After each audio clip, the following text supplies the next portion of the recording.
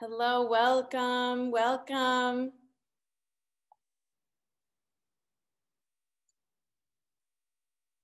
Okay, people are rolling in. Hello, good evening, everyone. We hope you enjoyed the show. We're so excited that you're here. Just waiting for people to come on in, get settled. Okay. Great. Hello, everyone. Hello. Welcome, welcome, welcome. Good evening. We hope you enjoyed She Persisted. Uh, my name is Melissa Mahoney. I am an actor and a proud teaching artist here at the Atlantic Acting School. Uh, I am also a proud alum, not only of the school, but of a few Atlantic for Kids productions as well. So I'm very, very, very, very excited to be the sort of MC for this evening's um, talk back for the virtual production of She Persisted the Musical. Um, we're gonna get started in just a minute. I'm, I'm seeing that people are still trickling in, so I'm just gonna do some housekeeping before we get started. Uh, I'll give you a sort of rundown of how the event is going to run. Um, firstly, this is live. Woo, so exciting. Um, so just a reminder that we are reliant on the internet for this event. And if any troubleshooting needs to happen, we will work through it as quickly and as smoothly as possible. Um, that being said, if you experience any technical difficulties and need assistance, you can use the Q&A function in Zoom. It's right on the bottom there. Um, and you can just if give us a chat if you need help with anything and hopefully we can work through any problems as smoothly and as quickly as possible.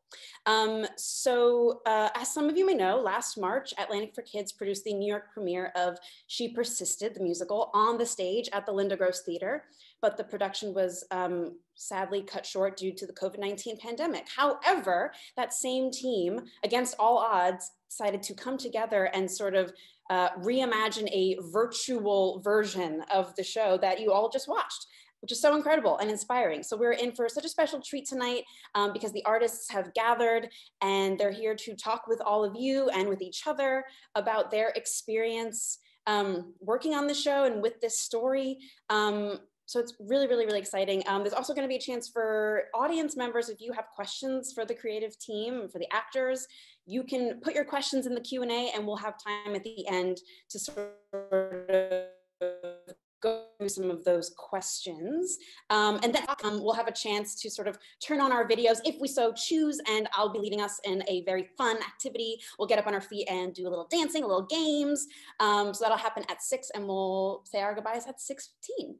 Uh, great, so without further ado, I'm going to introduce our artists starting with Chelsea Clinton, author of several books for young readers, including the New York Times bestsellers, She Persisted, uh, she Persisted 13 American Women Who Changed the World, as well as She Persisted Around the World, and most recently, She Persisted in Sports. Welcome, Chelsea. And MK Lawson, MK is the director and choreographer of the stage and virtual productions of She Persisted, and longtime friend and collaborator of The Atlantic, having worked on six other projects for Atlantic for Kids. Welcome, MK. And we have the entire cast of She Persisted. We have Alberth Bursey, Jancy Colin Soto, Amanda Corday, Amber Janae, Cynthia Nesbitt, and Heather Sawyer. Welcome, cast. Um, okay, MK, I'm gonna throw it over to you. Thanks, Melissa. I this smile always gets on my face when I'm in the room with these women, this cast, even if it's a Zoom room. and obviously, it is such an honor for all of us also to be here with you, Chelsea, and just filled with gratitude that you even created this book that could then be created into a musical that could then turn into a Zoom production, a virtual production that now we get to share an experience with everybody at home or everybody at home watching.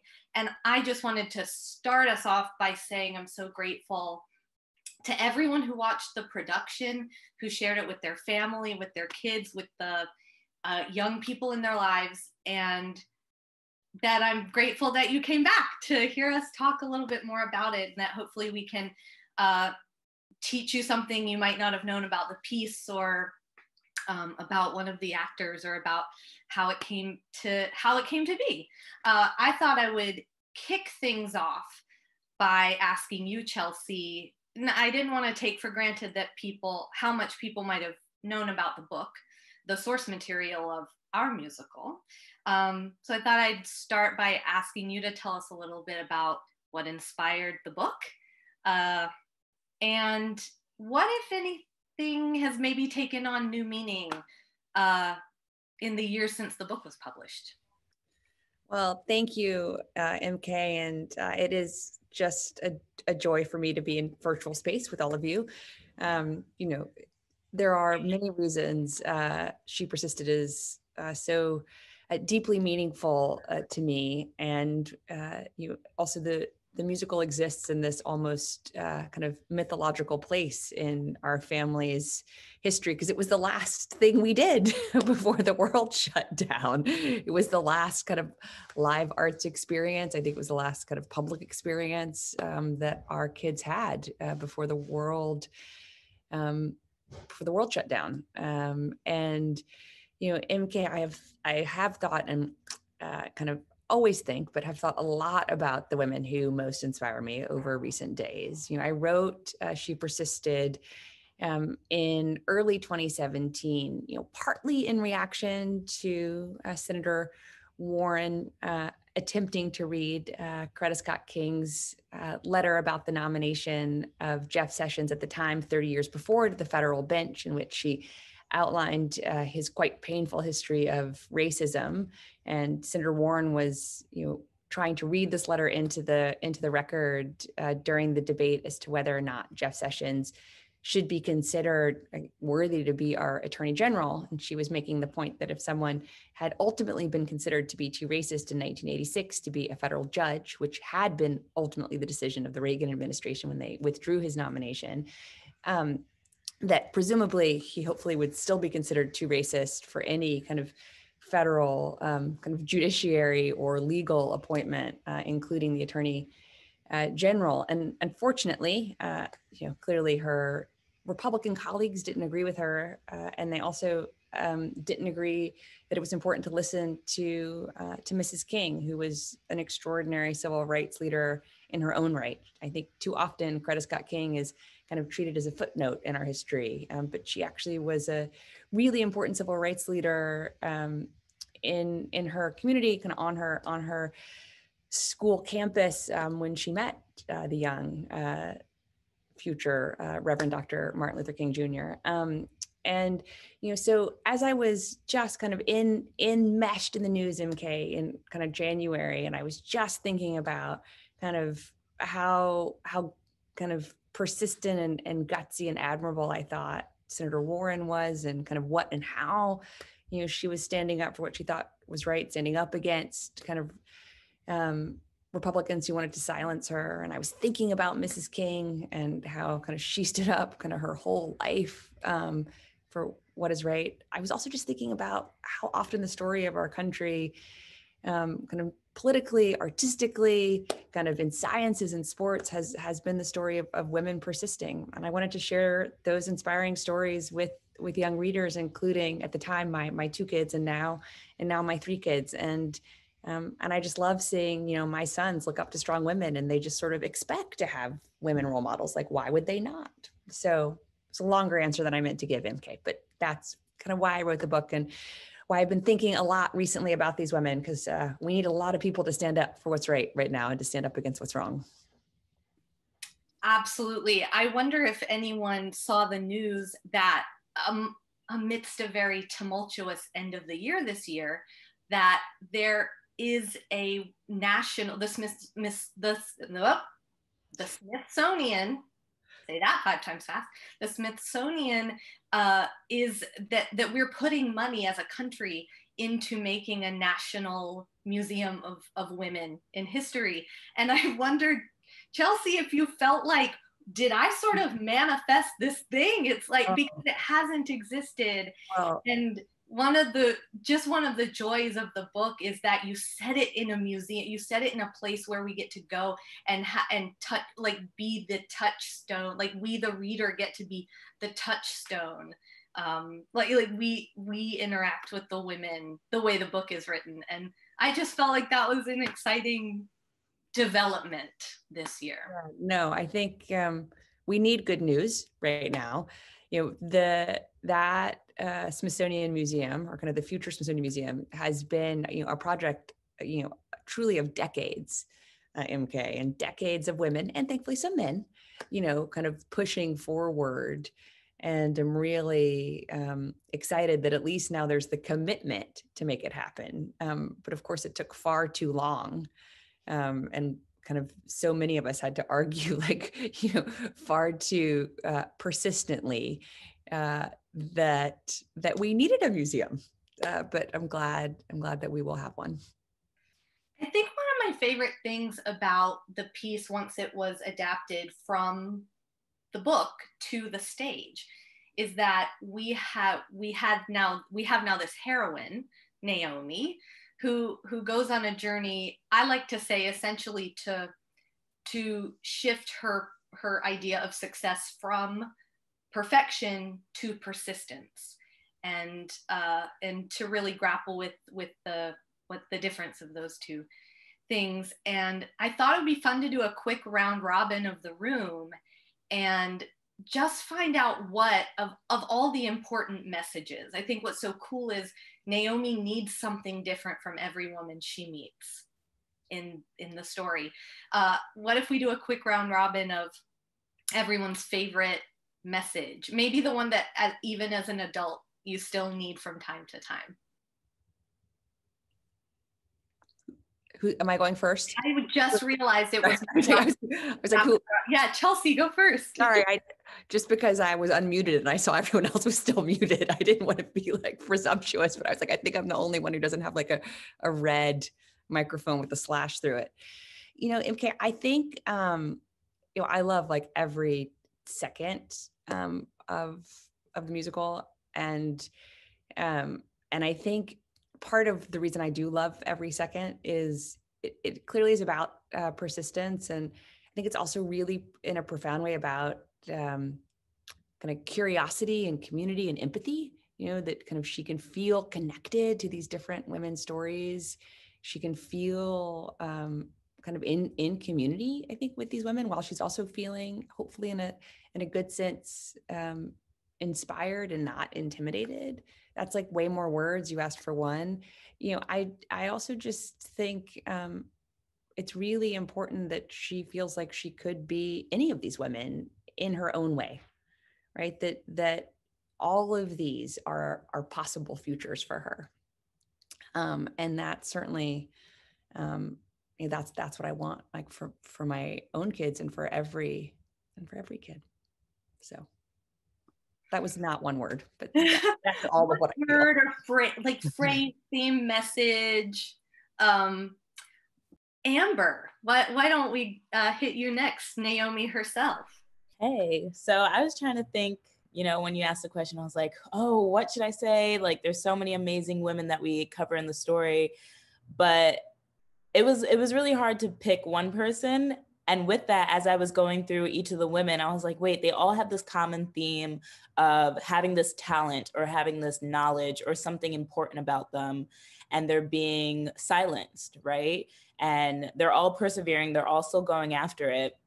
And one thing with naomi is she kind of silences herself you know? There isn't anybody in the story necessarily that silences her. You know, she puts it out there, she projects all this negativity onto herself. And then she meets all these amazing women who, despite everything else that all these other people, all these external factors are telling telling them, they still go after it.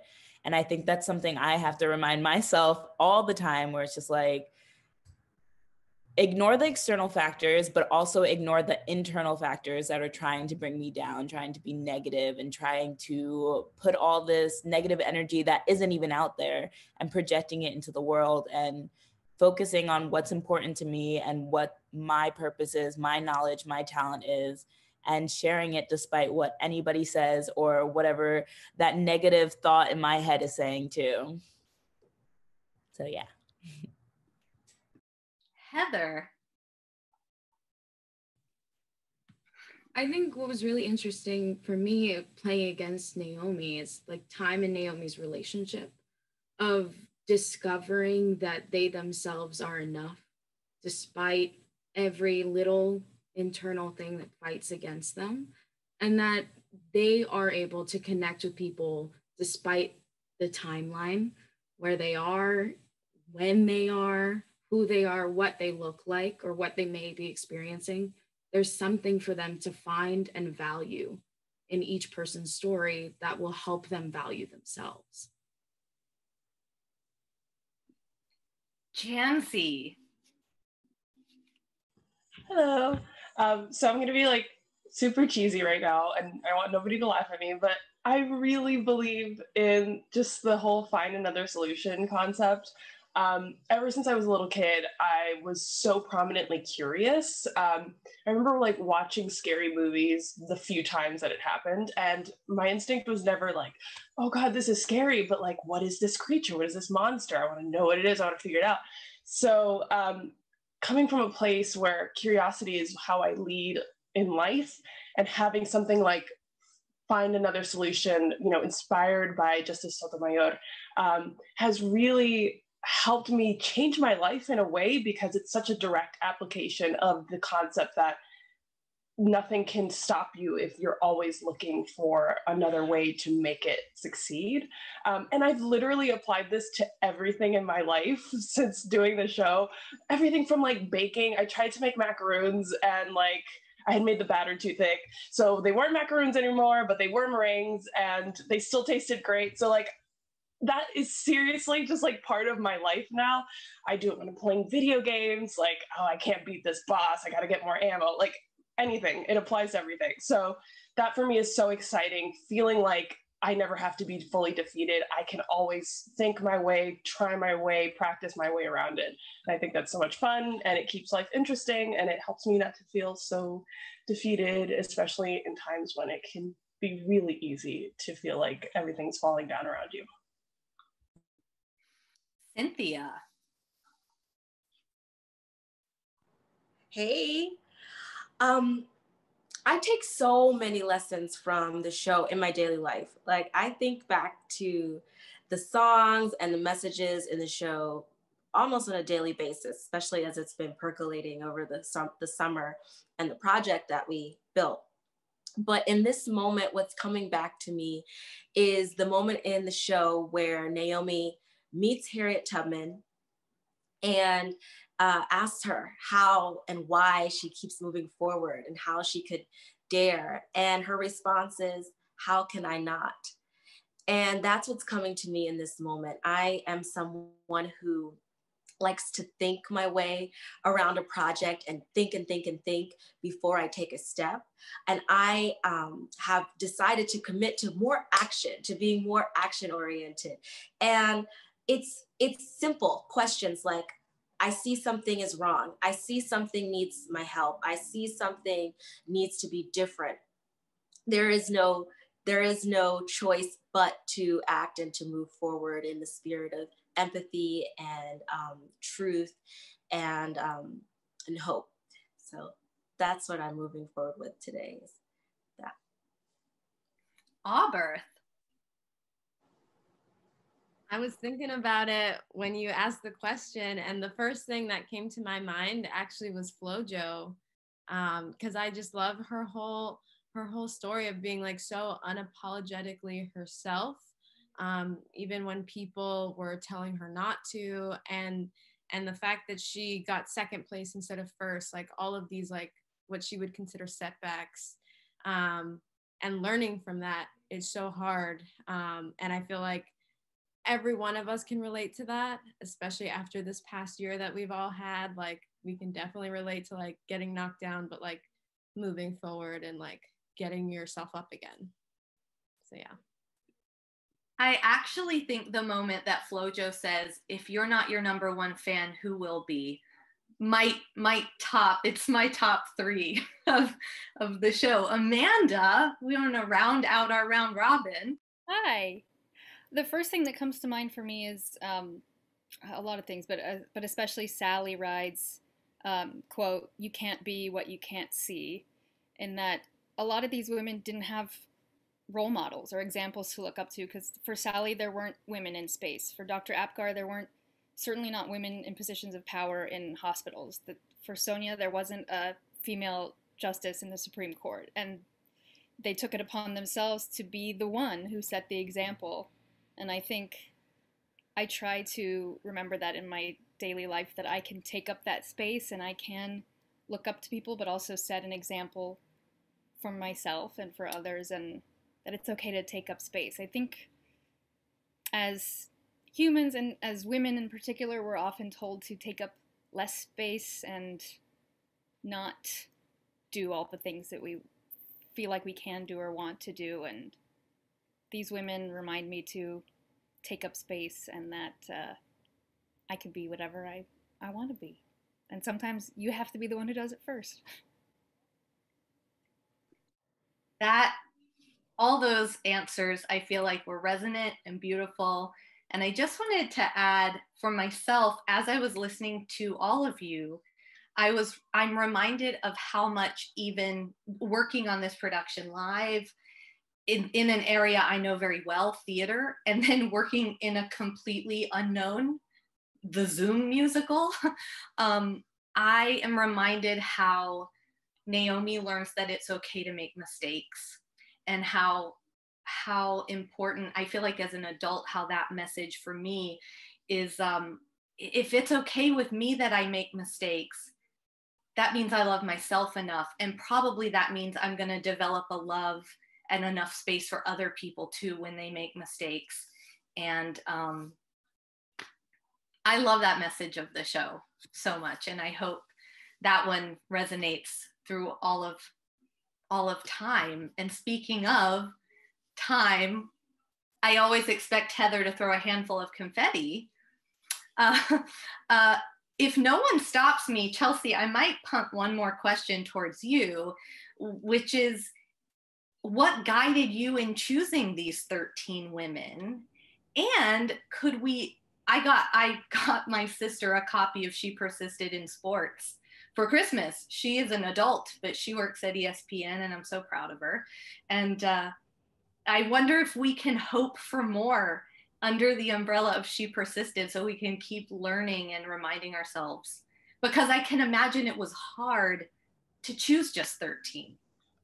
Yes. So the first book was really personal to me. I mean, I, I feel deeply connected to all of these women. Um, you know, even when you were talking about FloJo, like I remember being a little girl in Little Rock, Arkansas, and watching the Olympics.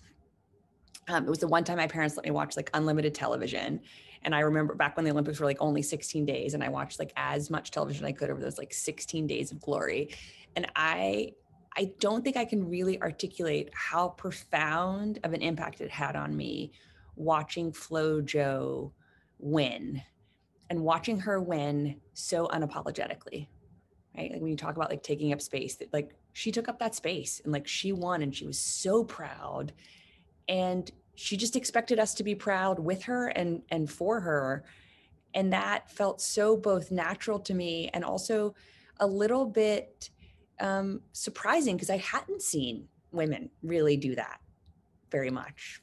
And and so I just like seeing her win, seeing her obliterate the Olympic records, the world records, you know, had such a big impact on me. And um and I remember, you know, my my grandmother teaching me about Helen Keller and my mom talking to me about Harriet Tubman. And so these so many of these women were so just formative to the stories that I valued and that I thought were valuable and I thought were important. And then, you know, the, the person I learned about much later in life was actually Dr. Apgar, who I learned about when I was pregnant for the first time with with our oldest daughter, Charlotte, and my wonderful OBGYN was telling me like, and you know, hopefully you'll have a healthy delivery. And the first thing that we'll do is like perform the APGAR score. And I was like, what's that? And I just thought like, I have a master's degree in public health. Like how from Columbia, nonetheless, like where where Dr. Apgar, like you know, worked for so many years. Like I was like, how did I not know about this extraordinary woman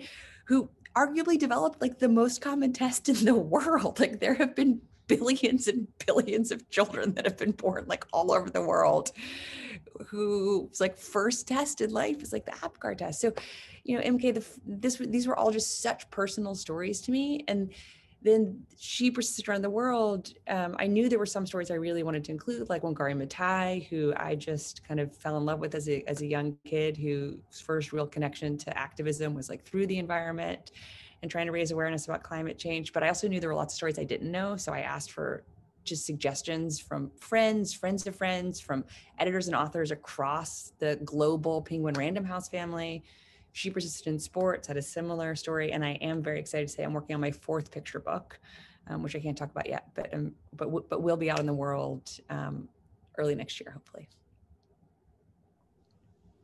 We have a few amazing, we have a lot of amazing questions from our audience. Um, I'm gonna throw, we were getting a few questions about the, the challenges and MK, you kind of touched on this of moving from the stage to the virtual stage. Um, what was like, what were some of the challenges either from the actors or from the director? Like what, what was maybe like the biggest challenge?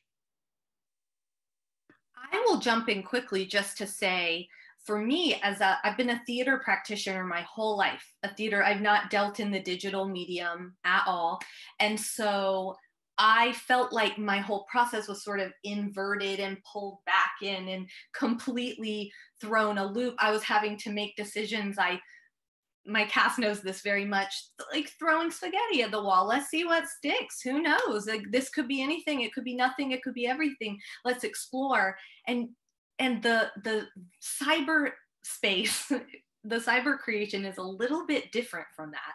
And certain decisions just to be a good collaborator you had to make more quickly or or sooner earlier in the process than i was used to making them. So it was a real like i do have to say sonia sotomayor was our guiding light it was like find another solution and when problems came up you just stayed flexible and curious because we were all in this sort of new medium together. Amber, you want to add to that? yeah, sure. Um, I have to admit, when I got that uh, email saying we were coming back, I was so nervous. It just seemed like such a huge, daunting task.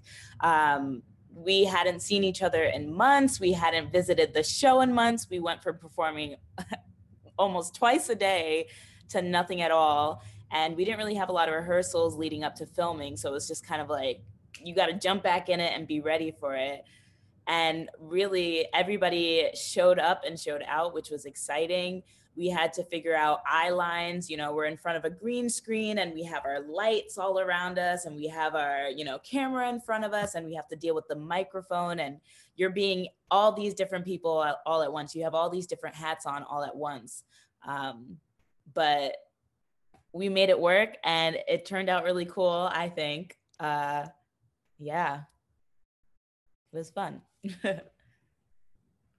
um, great. We have a question about, um, I've lost it. Where did it go? Uh, who is a strong female role model that inspires you most in life? And everyone can answer. Just give a quick answer. I have an easy answer. My mom is my person. She inspires me the most because of all that she's done in her life. Immigrant woman coming here. She's like the person that I look up to the most.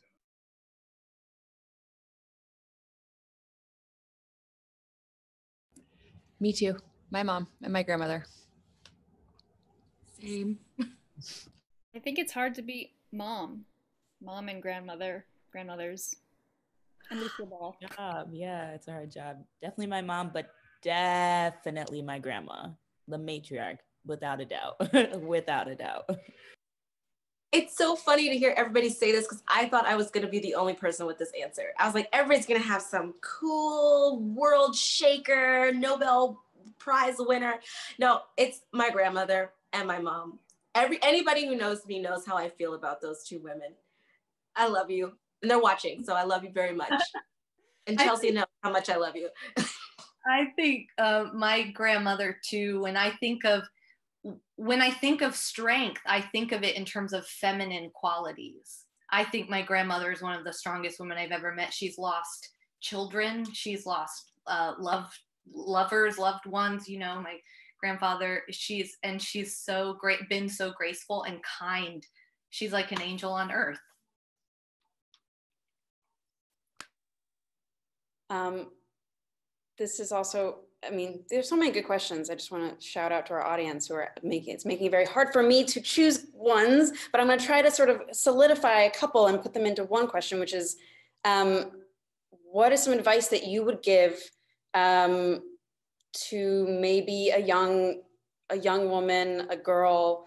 Um, we sort of touched on it earlier about the sort of like the, our favorite themes from the show, but like there was we were taking like a Naomi in our own lives, um, who's maybe feeling anxious or overwhelmed or like they have to be this and that perfect.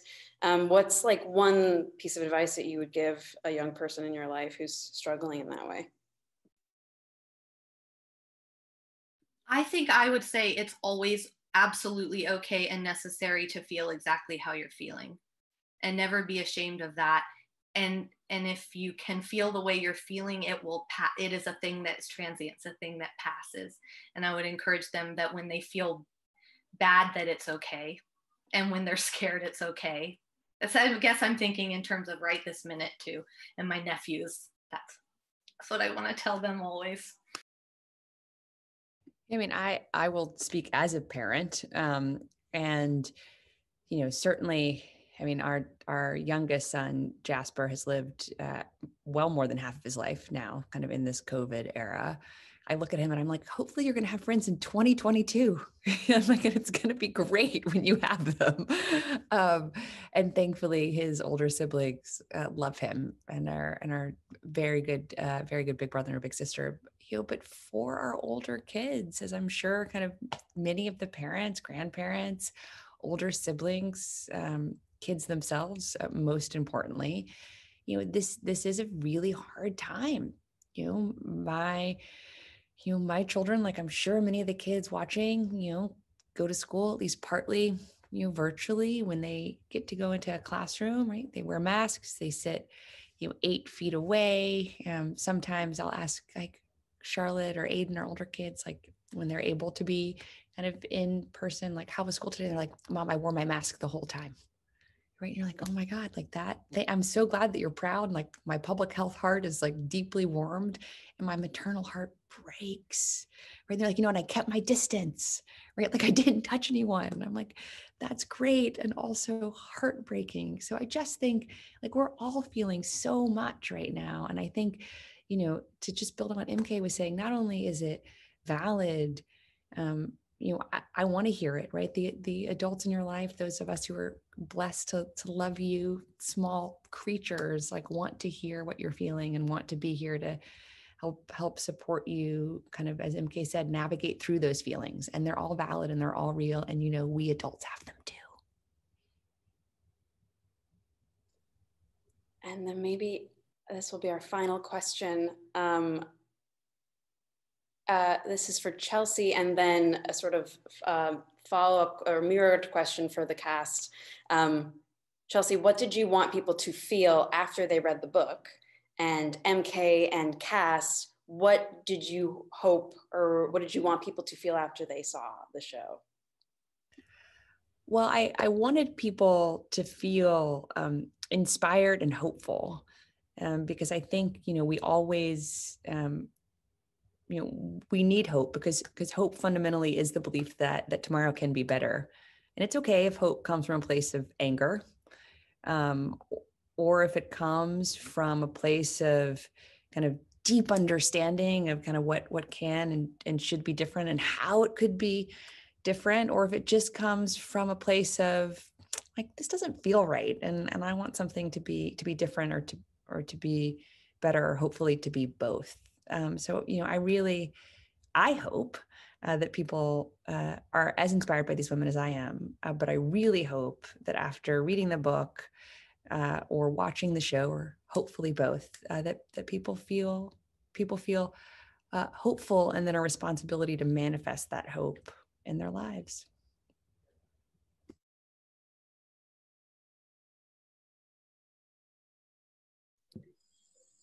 I guess I'll just say really fast. Um, after doing the show, particularly the stage version, but this translates as well to the virtual version. Um, I think about Walk On and sort of what a powerhouse finale that really is. And that's, you know, totally credit to Adam and Deborah for writing such an amazing song. Um, I really want people to feel fired up. Like we we put this whole story together and we told it with our full hearts and we put our everything into it and then we end with these amazing harmonies and you know this this choreography or, or just this blocking and the vision that MK put into it. Um, and I feel like we all did our best to sort of channel that. Um, and I want people to take away from that a feeling of just invigoration and, you know, a sense of I am now actively supported by all these women that I just watched perform this, and I'm going to channel their power to go accomplish everything I've ever wanted. That's kind of the vibe I was myself infusing into that performance. Yes. Totally yes. piggybacking off of that. Solid.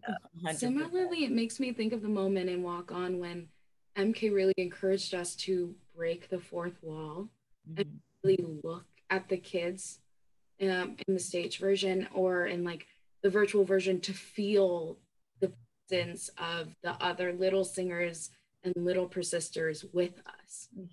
Um, and that idea of like we are tossing, like we're handing off that baton. We're saying like you are capable of doing this. You are enough and we're here to empower you.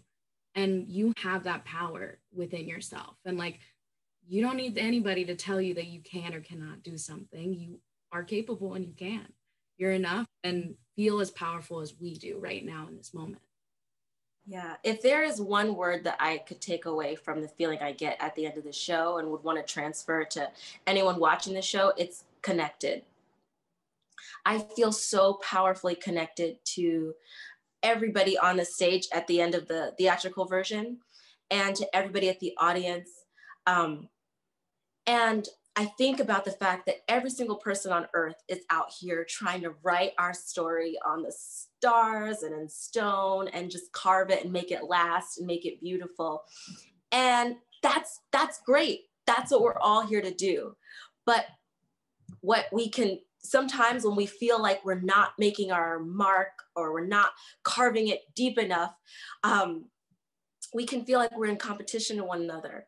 But instead, we can look at it as we are all working towards the exact same goal. We all are connected to one each other, to one another, and we're all on the same side. So that that's just the that's a very powerful feeling that I get from the music at the end of the show, and I hope everybody was able to take that home with them today.